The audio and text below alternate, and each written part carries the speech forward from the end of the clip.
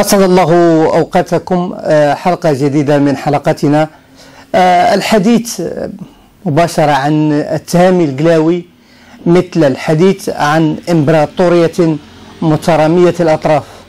بها الكثير من الحدود والألغاز والعلاقات والأسرار والشبكات المعقدة التي يكشفها البحث التاريخي. شخصية يلفها الغموض وتجمع بين التهامي القلاوي وخادمه المخلص والمطيع وجلاده المسمى إدير أو إدار وهو العلبة السوداء للباشا القلاوي والذي يتماهى معه تقريبا ويذوب في شخصية التهامي القلاوي. والسؤال الكبير من هذا الرجل؟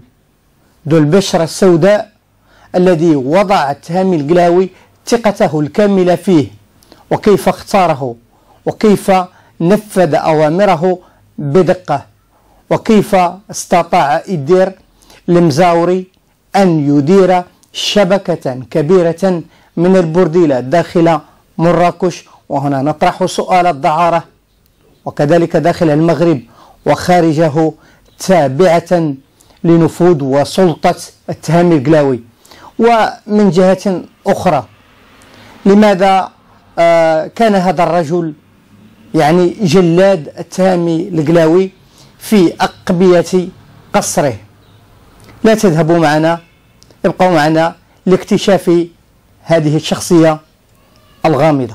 للإحاطة بشخصية إدير أو إدار المزاوري القلاوي والذي تربطه كثيرا آه، علاقات وطيدة بشخصية التامي القلاوي المزداد عام 1870 بينما إدير الصغر منه بعشر سنوات تقريبا أي أنهم من مواليد 1880 وكلاهما ينتميان إلى عهد السلطان الحسن الأول.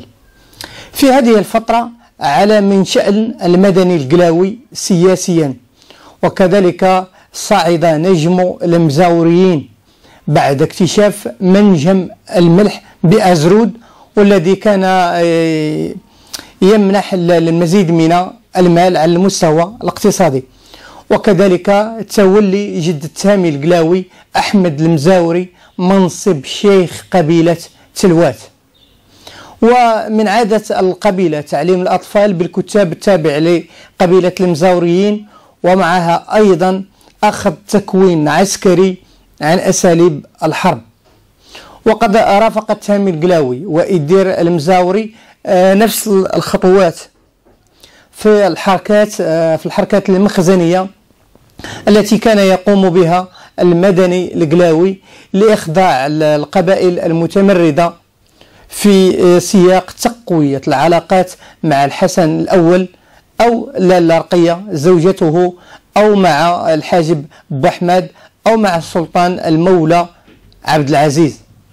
من هنا استغل التهامي القلاوي شبكة هذه العلاقات القوية مع المخزن والتي نسجها آه، خاصة شقيقه المدني القلاوي. وكذلك ضعف السلطان المولى عبد العزيز وضعف السلطة المركزية وسياسة الاقتراض التي نهجها السلطان عبد العزيز التي أضرت بالسلطة المركزية. والتي آه، يعني في إطار الصراعات مع شقيقه المولى عبد الحفيظ الذي وقع على معاهدة الحماية في 30 مارس 1912 من هنا أصبح التهامي القلاوي الرجل القوي وسط وجنوب المغرب رفقة خادمه إدير المزاوري والذي بقي كظل يرافق سيده في حله وترحله كما يقال يتعلم منه الكثير وينفذ أوامره بدقة.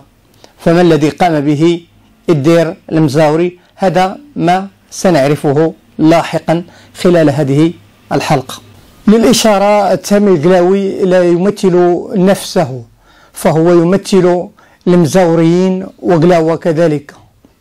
لذلك اتسعت أملاكهم حسب بول باسكون عالم الاجتماع في كتابه الفترات الكبرى للقايدية يستعرض أن أسرة تهامي الكلاوي تملك فقط في الحوز أكثر من 16 ألف هكتار في الحوز وأكثر من 25 ألف هكتار مسقية دون أراضي البور وكذلك 660 ألف شجرة زيتون. بمعنى تفوق ممتلكاته ممتلكات السلطان. وهذا آه، يعني في المحصلة يعتبر أكبر تركز عقاري في المغرب في عهد الحماية. وضع بين يدي التهامي وأبنائه طيلة أكثر من 44 سنة وخضع لحكمه أزيد من مليون نسمة. بالعودة إلى شخصية إدير وتعني بالأمازيغية الحي جلب إلى قصر تامي القلاوي أزيد من 100 امرأة بعناية كبرى بين جارية وخليلة وخادمة بمواصفات معينة ودقيقة جدا. أولها الجمال المطلوب على اعتبار أن التهامي القلاوي كان يقيم العديد من الحفلات والسهرات ويأتي إليه يعني العديد من المشاهير. القلاوي بالمناسبة تزوج خمس مرات شرعا لكنه كانت له آه، أزيد من يعني داخل القصر أزيد من مئة خليلة وجارية وعشيقة. المثير في الأمر أن آه، إدير كانت له آه، وظيفتان أساسيتان داخل القصر فهو يعتبر جلاد القصر. نظرا لضخامته وطوله وقوته وبأسه وكذلك من ملامحه التي تبعث على الخوف. وكذلك أنه معروف عنه العنف المفرط والبطش الكبير. يهبه الجميع وكلمته مسموعة وتنفذ على الفور خوفا من العقاب الشديد. وهو الذي كان يتولى سحق وتعذيب المعارضين لسياسة التهامي القلاوي حتى يهبه الجميع داخل أقبية ودهاليز القصر المخصصة آه، كسجن كبير خصوصا بعد توقيع معاهدة الحماية وكذلك بعد توسط الصدر الأعظم محمد المقري وهذه مسألة أساسية صهر الباشا القلاوي في أن يصبح يعني باشا مدينة مراكش بعد سنة 1927 وهنا ازدادت مكانة التهامي القلاوي على المستويات السياسية والاجتماعية والمالية كذلك. الوظيفة الثانية وهنا النقطة المركزية في هذه الحلقة أن إدير المزاوري هو المسير الفعلي لأكبر شبكة للدعارة والبغاء والبرديلات في مراكش والمغرب وإسبانيا فحسب المؤلف الفرنسي كي دو لابوان في كتابه ليوطي جوان محمد الخامس نهاية الحماية كتب أن التهامي الجلاوي كان أكبر بارونات الوساطة في الدعارة حيث كلف أتباعه ومن بينهم إدار المزاوري بمراقبة عدد كبير من دور الدعارة التي كانت تضم أزيد من ستة ألاف عاهرة. واللواتي كنا ملزمات يعني بالقوة على دفع ما يناهز 100 فرنك فرنسي كل يوم مقابل الترخيص لهن بمزاولة المهنة. حيث امتدت شبكة البرديلات إلى شمال المغرب وإسبانيا وذلك لقوة نفوذ تهامي القلاوي الذي أصبح خادما ومنفذا للسياسة الاستعمارية الفرنسية والإسبانية. تأكيد ثاني على هذا الكلام. يعني تأكيدا على هذا الكلام يأتي من مؤرخ كبير جون لويس ميج المتخصص بمؤلفات كثيرة تناول فيها العلاقات المغربية الأوروبية. ففي كتابه مغرب بلا قناع يقول أن التهامي كان أكبر مستفيد من المواخير والبرديلات التي تزخر بها مراكش والتي كانت تتجاوز 3000 ماخور. مسألة أساسية أن خليفة الباشا الباشا التامي القلاوي المكي وكذلك ابنه إبراهيم تهامي القلاوي وكذلك إدار المزاوري لعبوا أدوارا مهمة وكبيرة في توسيع حجم عائدات الدعارة والبردلات واستغلالها على المستوى السياسي والمالي. ولعب إدار المزاوري دورا كبيرا كجلاد ومسير لشبكة الدعارة وجني الأرباح منها. وما خفي كان أعظم.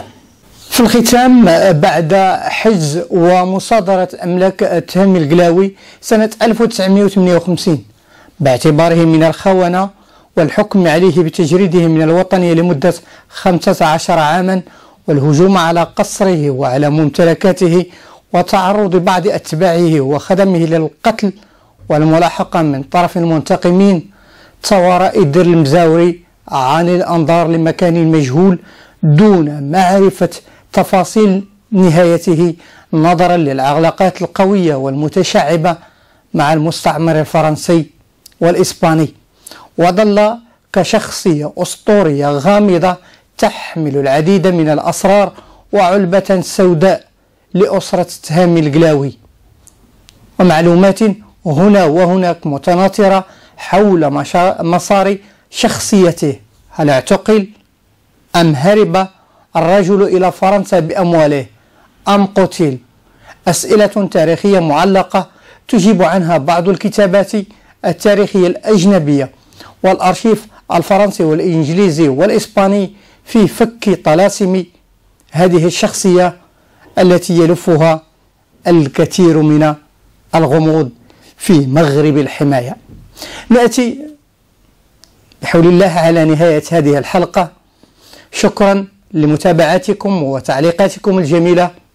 كل المنى وإلى لقاءات متجددة بحول الله. والسلام عليكم ورحمة الله تعالى وبركاته. قبل ما تخرجوا ما تنسوش تابوناو في لاشين يوتيوب وبارطاجيو الفيديو مع أصحابكم في مواقع التواصل الاجتماعي. وما تنسوش ديروا جيم.